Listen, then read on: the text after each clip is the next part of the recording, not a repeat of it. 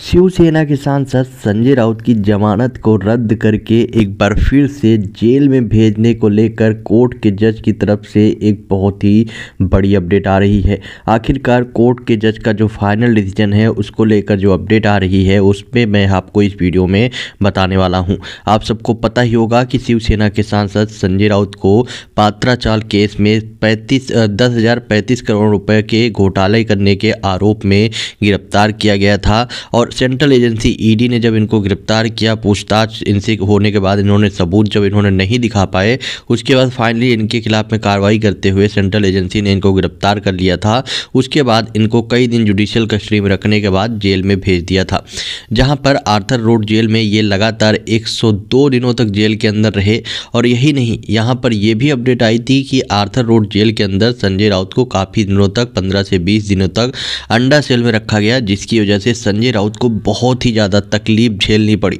और इस बात का खुलासा किसी और के द्वारा नहीं, बल्कि खुद जो है शिवसेना के सांसद संजय राउत ने जब जेल से वो बाहर आए तो उन्होंने एनडीटीवी से, मीडिया से बात करते हुए इस बात का खुलासा किया। और उनके द्वारा दावा किया गया कि उनके साथ में बहुत ही चीज़ें गलत हुई है, वो भी जेल के अंदर, जो कि नहीं होनी चाहिए। जबकि कोर्ट ने, के जज ने जब फैसला सुनाया और उनको जमानत दिया तो सीधे सीधे बोला कि ये जो गिरफ्तारी हुई थी, ये पूरी तरह से इलीगल थी। और यहाँ पर उनकी कोई गलती नहीं थी। जानबूझ के उनको गिरफ़्तार किया गया था। लेकिन इन सब चीज़ों के बीच में ईडी ने एक बड़ा कदम उठाया और एक बड़ा कदम उठाते हुए संजय राउत के खिलाफ में कार्रवाई करते हुए मुंबई हाईकोर्ट का रुख कर लिया। मुंबई हाईकोर्ट में एक याचिका दाखिल करते हुए ईडी की टीम ने सीधे सीधे बोला कि मैं जो है, हम चाहते हैं कि इस याचिका पर सही से सुनवाई किया जाए और संजय राउत की जो जमानत दी गई है स्पेशल कोर्ट के जज के द्वारा, उसको रद्द कर दिया जाए। उस टाइम तो कोर्ट के जज ने जो है फाइनल डिसीज़न नहीं सुनाया, लेकिन कोर्ट के जज ने ये ज़रूर बोल दिया कि ठीक है, हम आपकी याचिका पर सुनवाई करेंगे।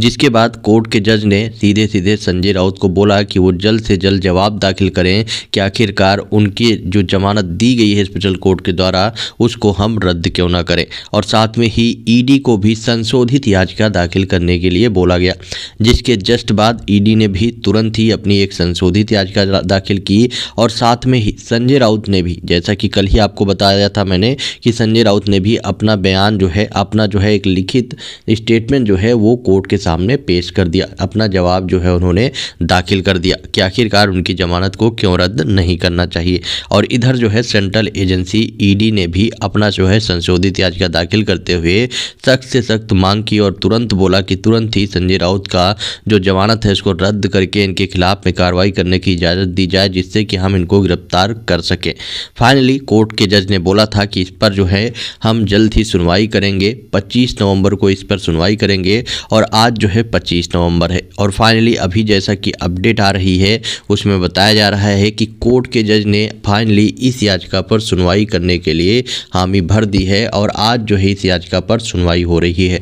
जैसा कि अभी अपडेट आ रही है, उसमें बताया जा रहा है कि ईडी की तरफ़ से पेश हुए वकील अनिल सिंह सॉलिसिटर जनरल जो हैं, वो वहाँ पर पहुँचे हैं और अपनी तरफ़ से ईडी ईडी की तरफ़ से जो है अपने सारे के सारे सबूत कोर्ट के सामने वन बाई वन करके पेश कर रहे हैं। और साथ में ही इधर संजय राउत की तरफ़ से, संजय राउत के जो वकील हैं, वो भी पहुँचे हैं। वो भी संजय राउत के बचाव में अपनी तरफ़ से पूरी कोशिश में लगे हुए हैं। लेकिन जैसा कि सूत्रों से अपडेट आ रही है, उसमें बताया जा रहा है कि सेंट्रल एजेंसी ईडी के जो वकील हैं, उनके द्वारा लगातार एक के बाद एक बड़े सबूत दिखाने की बात कर रही है, जिसकी वजह से इस बार फिर से संजय राउत की मुश्किलें बढ़ने वाली हैं। और इसमें जैसा कि अपडेट आ रही है, उसमें दावा किया जा रहा है कि संजय राउत की जो जमानत याचिका है, जो जमानत है, जो दी गई है स्पेशल कोर्ट के द्वारा, आज जो है इसको रद्द कर दिया जाएगा। ऐसा इसलिए होगा क्योंकि अभी तक जैसा कि कुछ सबूतों को लेकर जो अपडेट आ रही थी, वो सारे के सारे सबूत जो है ईडी के ऑफिसर और साथ में ही ईडी की तरफ़ से पेश हुए वकील वहाँ पर